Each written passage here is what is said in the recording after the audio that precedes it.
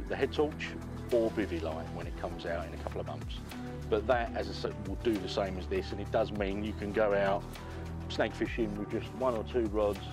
Our new Smart Band. Now, this was released a couple of days ago on Amazon. This is really what everyone's been. Our new head torch, we've got an H9, and this is the H9 Pro. The H Nice. What a finish that is.